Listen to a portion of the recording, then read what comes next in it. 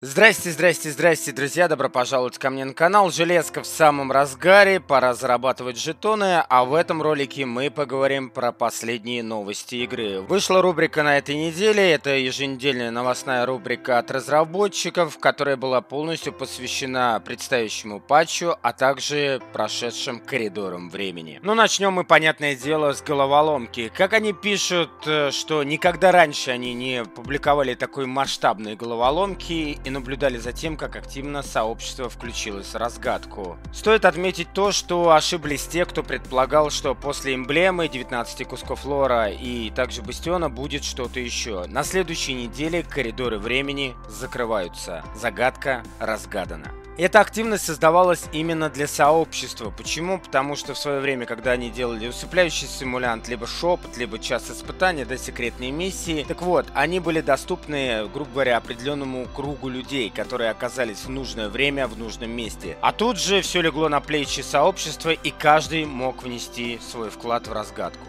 Эта идея у них зародилась еще до сезона «Рассвет». Напомню, сезон «Рассвет» стартовал у нас в начале декабря. Так вот, за основу этой головоломки был взят фильм «Куб».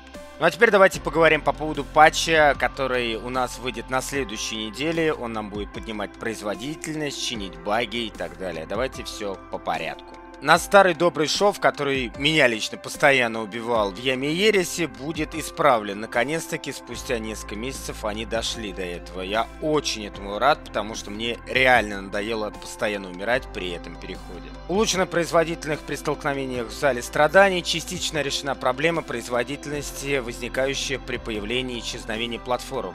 Э, когда вы воюете в рейде Саду Спасения со священным разумом, то есть с боссом. Также вы обращали внимание, что в башне иногда производительность падала, да, то есть особенно когда вы получали награды. То есть с этим патчем это тоже должно быть исправлено. Насколько это будет исправлено, посмотрим. Помимо этого, вы обращали внимание 100%, особенно те, кто играет в PvP, что иногда все ждут у вас черный экран, да, загружается карта PvP, и пока не догрузится последний игрок, то, соответственно, вы не начнете.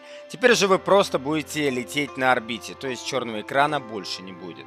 Также подвисание пользовательского интерфейса они планируют, которое снижало частоту кадров. Проблемы с частотой кадров в Гамбите Гамбите Прайме, также в Яме Ересе при столкновениях в туннелях, а также общее повышение производительности, когда очень много обломков. Также будет исправлена ошибка, из-за которой Эрис Мор не давала последний кусок истории, да, то есть вот у меня его, например, нету, поэтому я лично рад, то, что они это поправят. Также возрадуйтесь те, кто делает бремя Идзанаги. Редкий контракт теперь будет выпадать гарантированно. Вам надо в течение пяти дней выполнить все контракты ада, и тогда вы гарантированно получаете редкий контракт. И некоторые игроки просто на протяжении месяцев не могут его выбить. Вот теперь про проблема будет решена. Ограничения на использование милости черви бога, а также вероломство зимы будут сняты после этого обновления. Те, кто не получает Бастион, вам надо завершить э, полную сюжетку Сейнта 14. Помимо этого, у Осириса отзвук прошлого, невыполнимая задача и выполнить невыполнимую задачу. Также вы, наконец, сможете сделать лук дыхания Левиафана. Вы сможете пройти налет с торговцем оружия. Напомню, до этого был баг, что требовался восьмой сезон. Ну и также небольшой список известных проблем, которые вы можете найти в моей группе ВКонтакте. Не забудьте на нее подписаться. Я искренне рад, что разработчики наконец-таки взялись за всевозможные баги, ибо в игре багов стало очень много, пора их